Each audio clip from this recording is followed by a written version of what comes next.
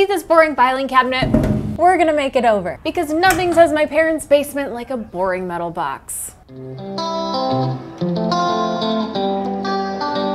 But first, let's meet the inspiration behind this project. This is Paper Purgatory, and heaven is a filing cabinet. You get the idea. As with all of my DIY projects, this one's affordable and easy because I am cheap and lazy. I mean frugal and resourceful. So here's the game plan. I'm gonna take these frames, glue them to the surface to give the front a facelift, then I'm gonna spray paint one color all over and one color on the hardware. Now, a lot of DIYers chalk paint their cabinets, but I found an easier way. Spray paint. I'm pretty sure I spend more time researching how to make my projects easier than on the actual projects. See, I can research from my couch, but I have yet to chalk paint and watch Friends reruns. Anyway, all you're gonna need is some household cleaner, clean cloths, sandpaper, two 8x10 frames, epoxy glue, spray paint, drop cloth, gloves, a screwdriver, two handles, and of course, a filing cabinet. Now, if you don't already own one, chances are you could find one at a thrift store or in a baby boomer's basement near you. Just go to babyboomersbasement.com. Just kidding, don't do that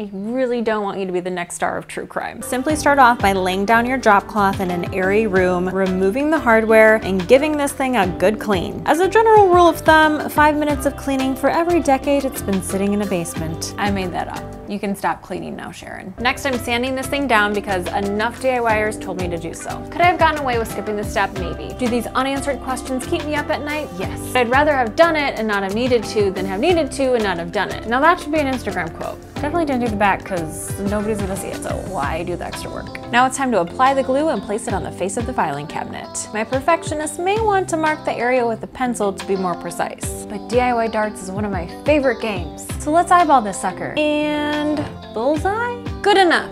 So once this is adequately dry, the fun part begins, spray painting. But first make sure you're in an airy room and you may even want to mask up. I know I am. I'm doing the cabinet first so it has time to dry.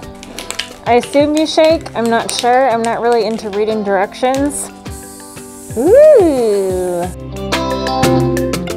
By the way, I threw on goggles because I like my eyes. So I just got done with one coat. I am shocked that one coat's gonna do the trick. It's super thick, which is a testament to this product. Not a sponsor. Rust-Oleum 2 times Ultra Cover Paint and Primer really goes on thick and gets the job done. Then it's time to spray the hardware. Now we just gotta wait for the paint to dry. I highly recommend utilizing the time to catch up on Friends reruns. I'll be there for you when your paint starts to dry. All that's left is to screw on the hardware.